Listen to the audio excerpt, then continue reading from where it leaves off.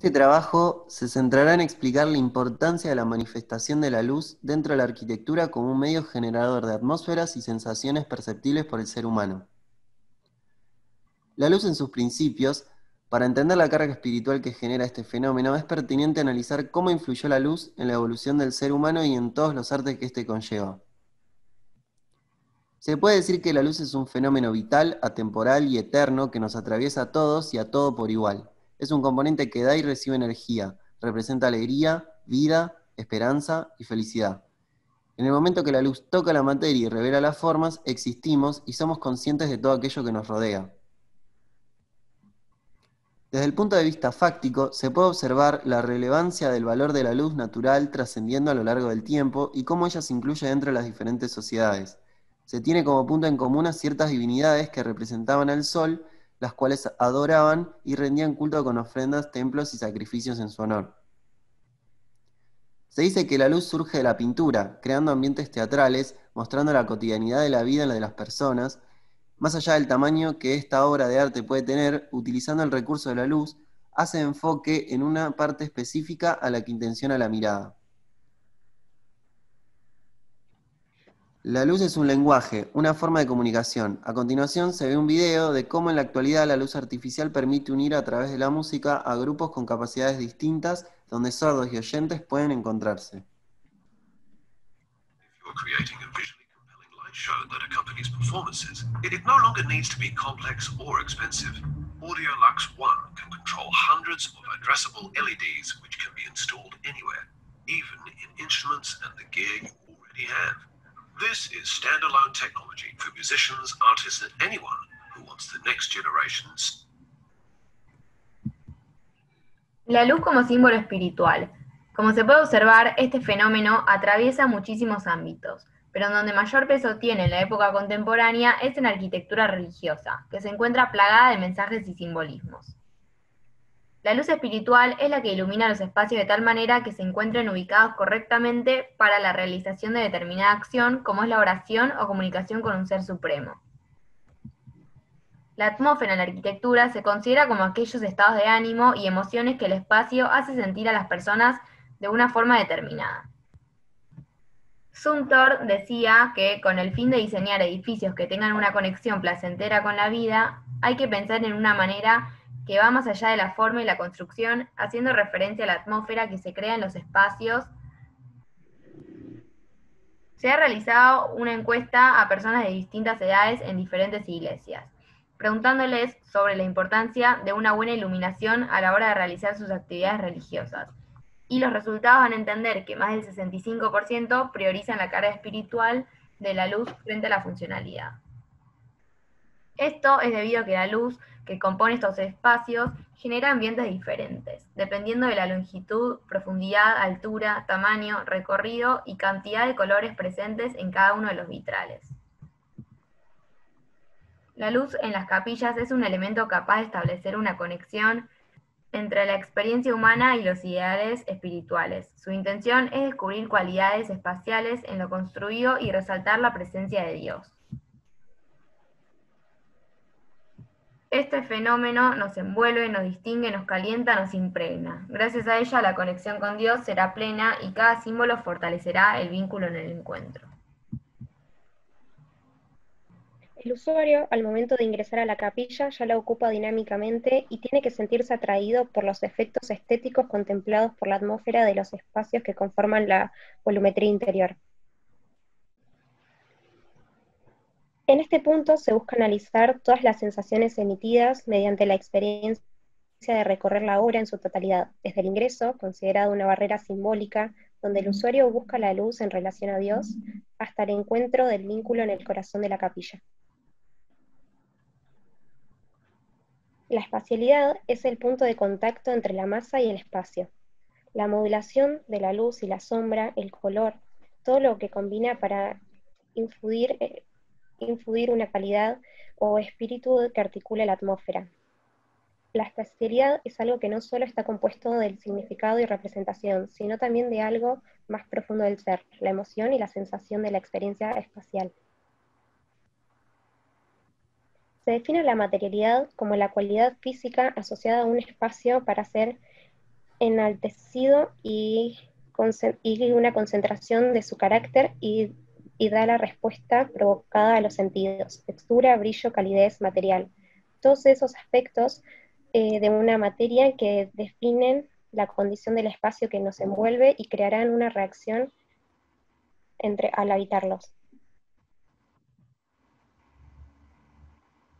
Entendiendo que la capilla es un lugar en el cual se busca esa conexión directa con un ser supremo, la luz eh, toma un rol de representación en el ser y simboliza la presencia y el acompañamiento espiritual que tiene Dios en la vida de sus seguidores.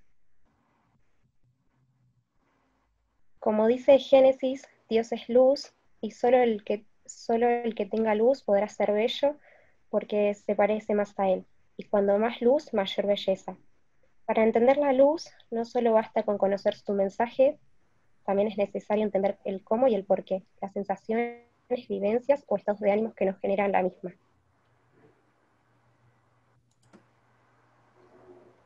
A continuación, analizaremos tres capillas argentinas para mostrar cómo enfatizan la luz según las variables mencionadas y cómo éstas ayudan a crear distintas sensaciones para el usuario. Las capillas seleccionadas son La Capilla San Bernardo, ubicada en la llanura pampeana, Córdoba, construida por el arquitecto campodónico Nicolás en el año 2015.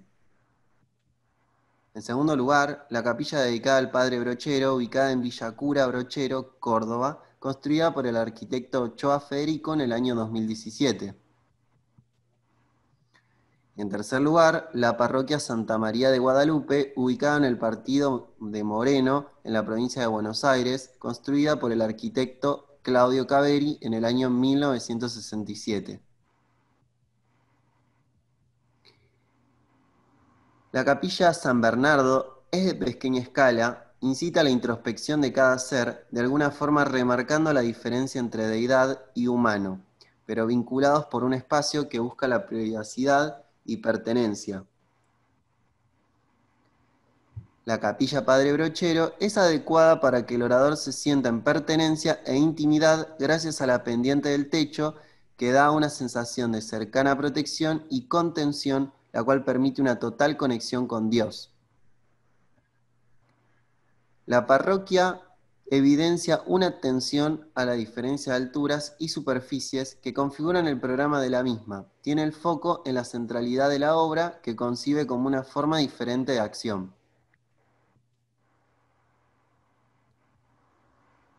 El ingreso de esta capilla está desplazado hacia uno de los laterales, haciendo que el acceso sea mucho más íntimo. A su vez, el pasillo se angosta cada vez más con la finalidad de que lo importante no sea la puerta de ingreso, sino lo que hay detrás de ella al atravesar.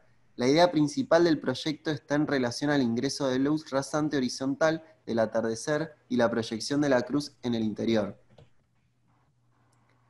El atrio está ubicado lateralmente, dentro del recinto circundado de árboles. Este gran espacio no presenta ningún control de luz buscando generar un contraste con el ingreso a la capilla.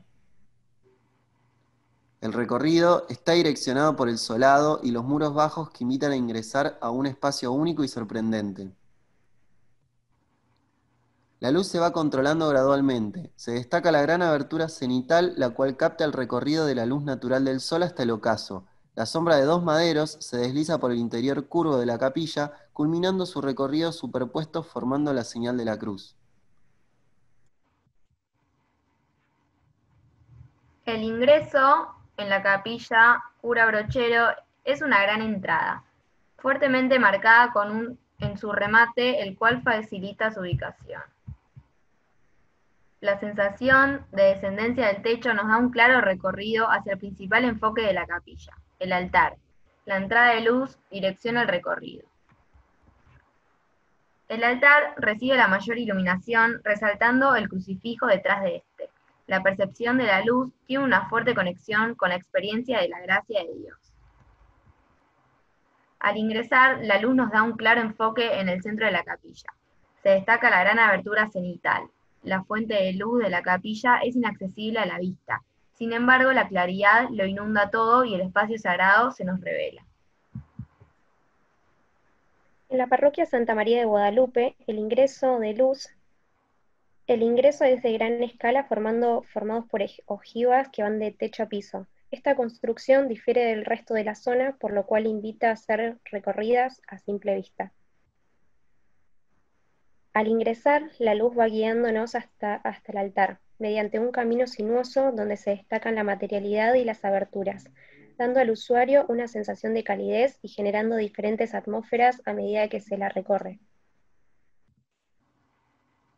El altar recibe una luz tenue que ingresa por las ventanas, la misma se refleja con el color blanco debido a la materialidad de la obra, generando una sensación de quietud y sencillez al mismo tiempo.